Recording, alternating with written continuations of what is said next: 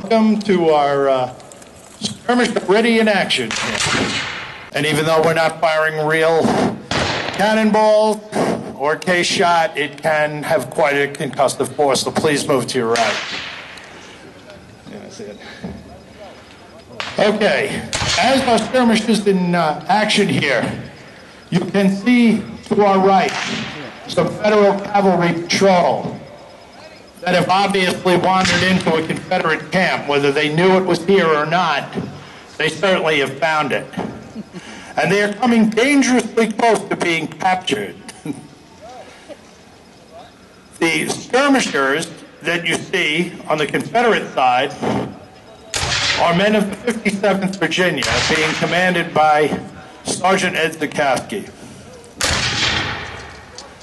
What you're actually viewing is actually what a absolute real army would do. They, they were under fire of any sort.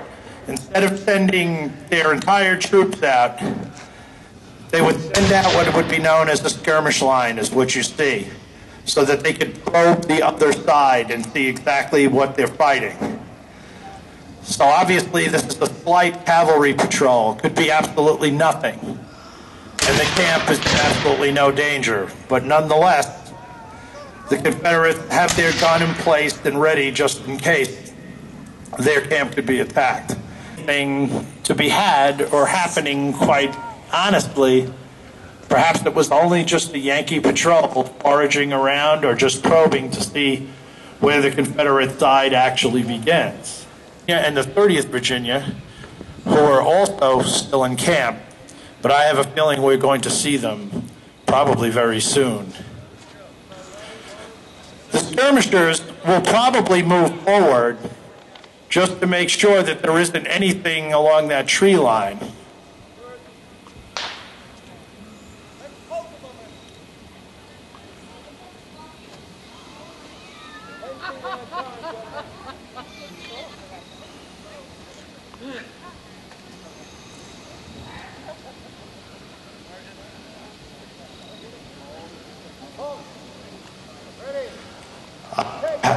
It wasn't just the Yankees. Apparently, a union uh, company has come out.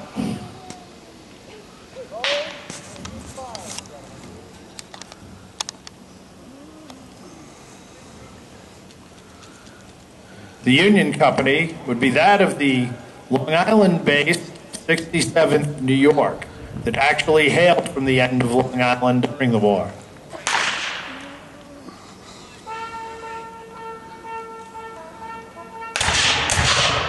Bugle call, of course, is instructing the men exactly how to move and maneuver. 57th Virginia is beginning to break off, as now it looks like there's obviously going to be some sort of fight that's actually going to entail here. The 67th New York is going into their skirmish formation.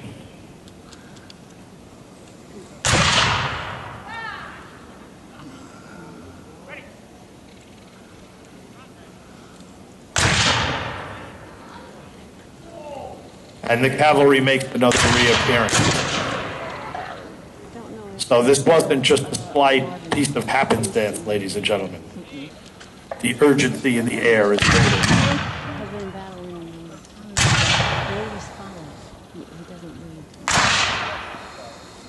Would be Colonel Frank Ruiz of the 14th Brooklyn, commonly known by their foes as the Redlegs.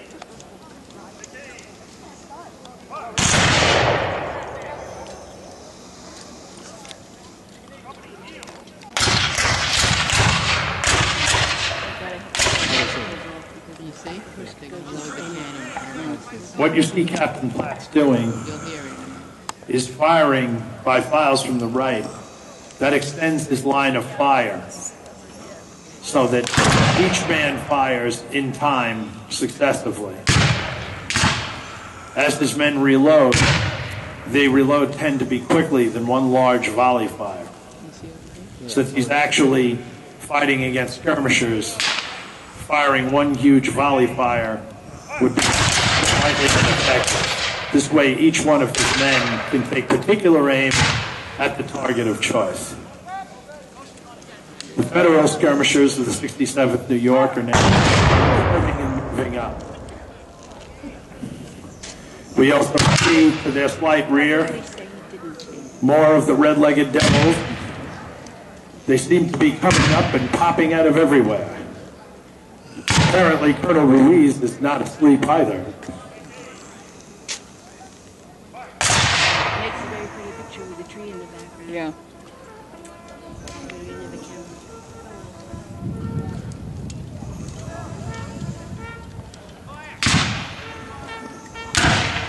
Tells me that Captain Platt is going to be jo- joined by the 9th Virginia very quickly.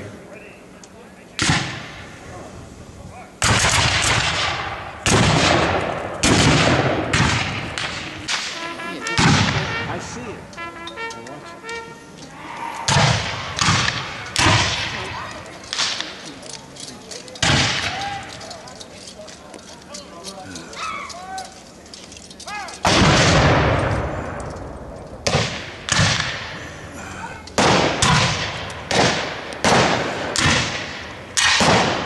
You did okay with that one. Oh, no, there we go.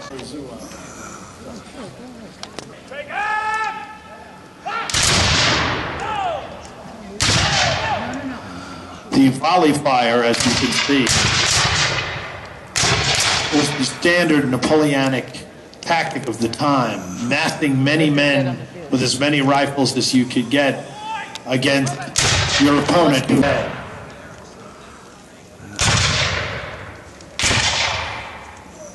Colonel Ruiz is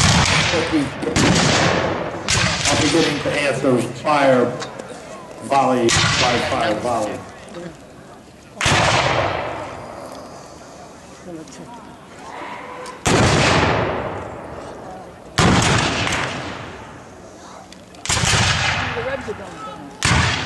As you can see, trying to get wounded off the field was not an easy task during the middle of a firefight.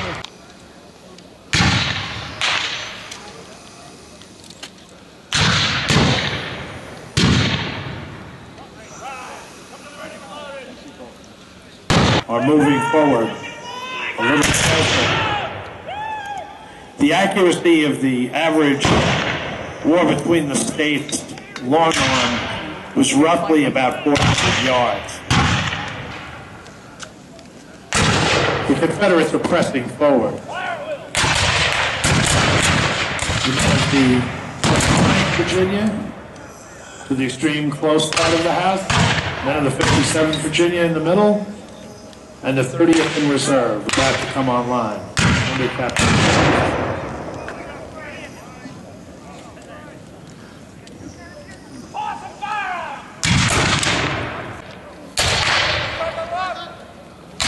This is not the first time the men of Virginia and the men of Brooklyn have met on the field of fire. The men you see on the federal side wearing the green uniforms are that of the Berdan sharpshooters. Considered camouflage uniforms were ever used in the United States Army. The uniforms are, are made of a green to blend in with the tree line, and they do not make buttons. Their buttons were actually made of a black, what was known as gutta percha, which is type of rubber plastic that was made at the time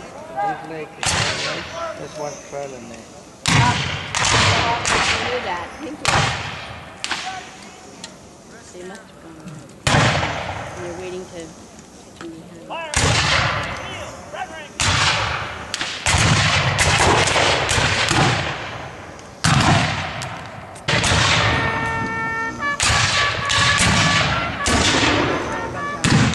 Young Lieutenant Ruiz moves his men backward as they feel that the pressure from the Confederate moving tide is coming ever closer.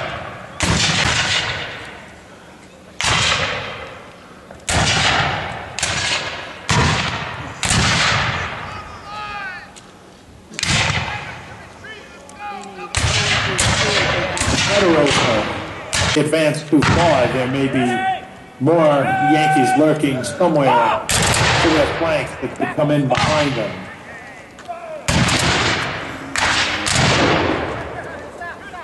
But through the skill of Captain Hewitt, guiding the entire Confederate line to a certain victory, or maybe a certain defeat.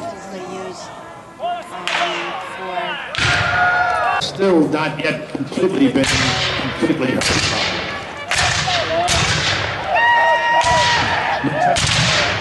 Lieutenant. Ruiz is now pressing toward the Confederates.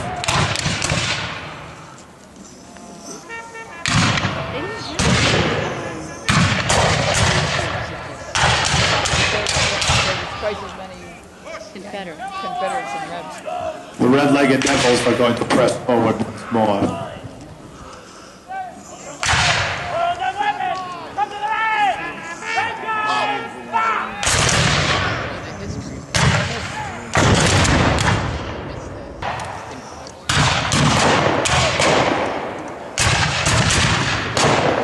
Die? Or they just said, yeah, I don't want to do this anymore, I'll. No, I think they know. Um, figured out. I know from the cavalry. They both rode, and he had Wounded, quickly. he fell off. The horse would just jam there. Young Lieutenant Ruiz is moving off his red legs. There. Fire once more. The 9th Virginia presses Well, forward. those, it's ten bucks. an hour.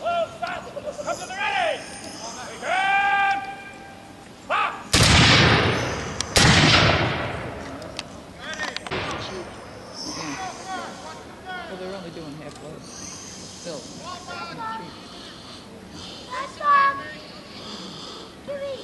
Two o'clock. Although the Confederates might win this. Not willing to give any ground, the Confederates move forward, inching ever closer.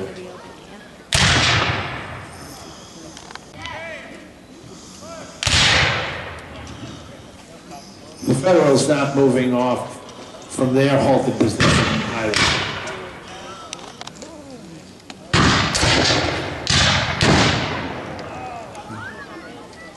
Seems that Captain Hewitt Captain Pratt is there. Sergeant Zukowski's there.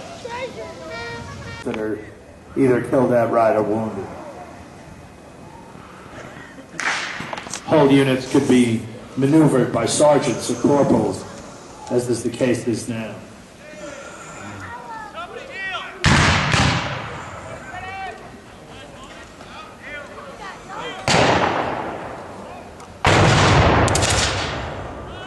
Final goodbye to ammo. and Jackson's flying artillery. Apparently, the Union have had enough of the day. The Virginians are holding their field, but not without a terrible cost.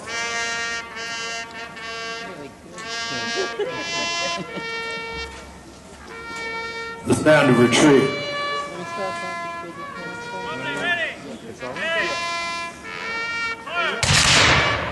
Final message from the Virginians.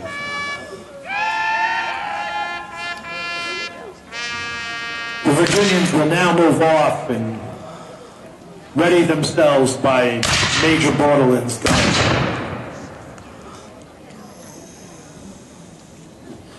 And that would conclude our skirmish for this afternoon, ladies and gentlemen.